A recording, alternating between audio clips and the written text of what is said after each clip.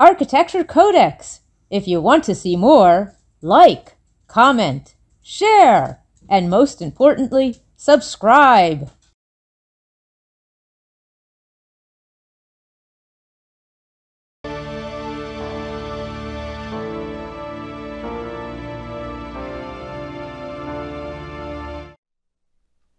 For many of us, modern design went from science fiction to reality when we were watching the 1972 Munich Olympic Games.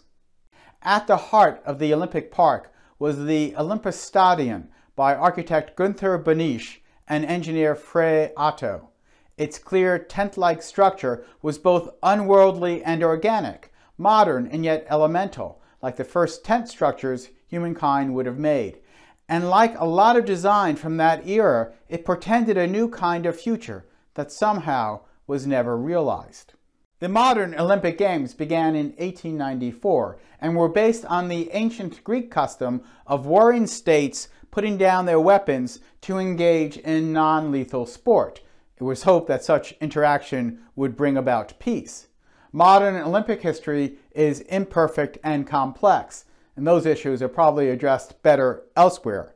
Here we will discuss the architectural aspect and how the Olympiad, held every four years, is a herald of new architecture as it focuses attention on a particular world city.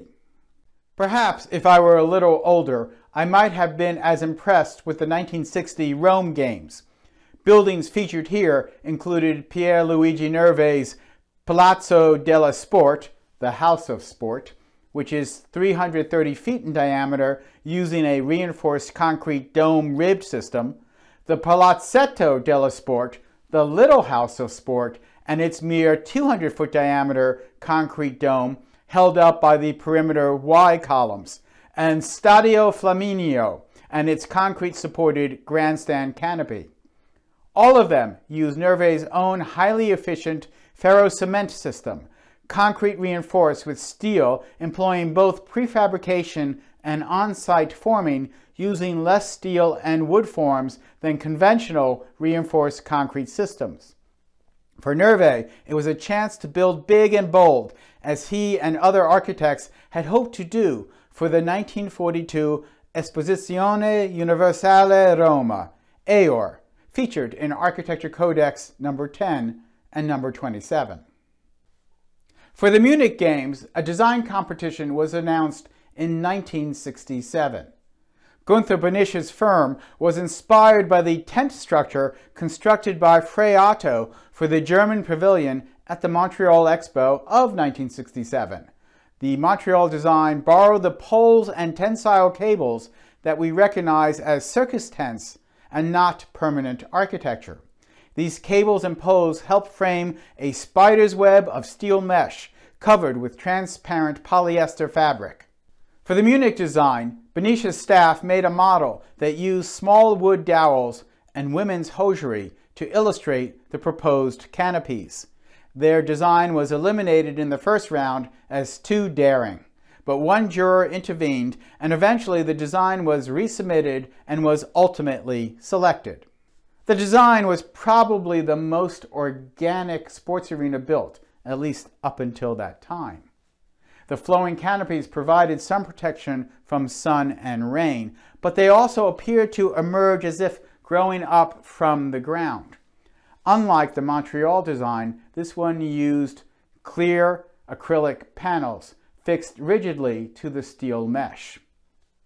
Once again, I believe that its appeal is that the building's form speaks of its structure.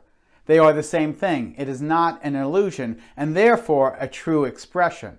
It is perhaps the very opposite of the compressive form of the Gothic churches, and yet both have an equal amount of power.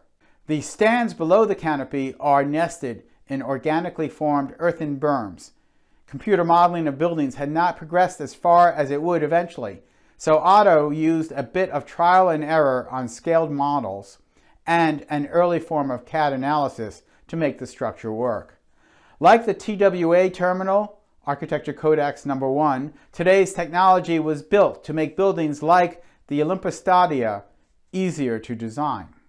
Nearly every sports stadium ever built was inspired by the Roman Colosseum, officially the Flavian Amphitheater. That may be because the design is very basic. You have a bowl that featured tiered seating around the field of action. The Colosseum itself was a combination of two theaters, thus the phrase amphitheater or amphitheater, two theaters. These Roman theaters were buildings inspired by the Greek theaters, which tended to be carved into hills rather than erected on top of flat land. The Roman Colosseum had its own canopy system that consisted of ropes and rolls of canvas supported by wood staves along the perimeter at the top to protect the occupants from sun and the occasional light rain. The tensile roofs covered other buildings and walkways at the Olympic Park, including the natatorium, the building where swimming and diving events occurred. So the design concept developed by Otto and promoted by Behnisch created a visual identity for the entire sports park. While constructed as temporary buildings, their acclaim was so great that the city kept the canopies over the buildings. By the time I got to the stadium, about seven years after the Olympics, the overall buildings and their canopies was simply accepted as everyday Munich sporting life. Sort of like the Renaissance structures in the Borghese Gardens in Rome. Still, as an architecture student and an outsider to the city, I found them amazing and inspiring.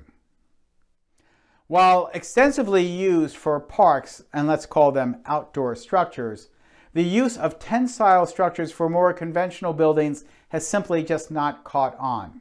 I suspect there are two main reasons for this. One is technical.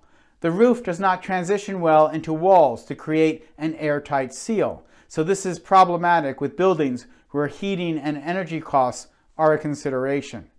I investigated a commercial tensile system for a Christian church I was designing, and we would have to engage some extensive compensating factors to achieve a reasonable energy profile, even though a translucent ceiling would softly light the space below, saving on lighting costs, and help heat it in the winter. The second factor, I suspect, is that people have just not seen enough of them and don't really trust them. Perhaps the most enduring design legacy to come out of the 1972 Munich Olympic Games was not the architecture, but the innovative graphic signage, the pictograms designed by Marc Gellen. These graphics expressed each of the sports and activities using stylized human forms that did not require language to understand, a logical goal given the many international competitors.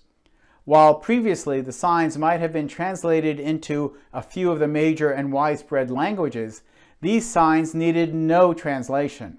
And pictogram images, round-headed people with fingerless limbs, are now common throughout the world. Since Rome and Munich, the Beijing Olympics in 2008 had the best chance of making a lasting impression. The Chinese Communist Party certainly made an effort to impress the world. The opening ceremonies were simultaneously astounding and scary. A bit too easy how so many people were regimented into the exacting performance.